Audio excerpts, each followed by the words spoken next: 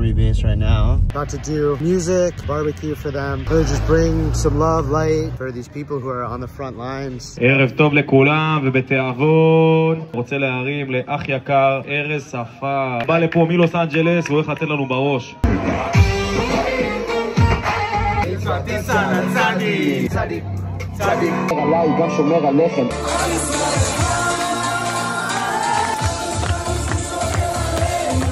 so right now we're barbecuing for the soldiers. Show them that we love them. On the border right next to Gaza, playing on a base. These amazing heroes. Yeah! Woo!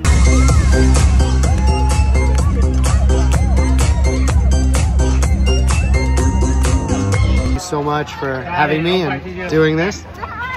So this was crazy. It was like, of course, like sad in the beginning because I'm just like, this is all so sad and tragic.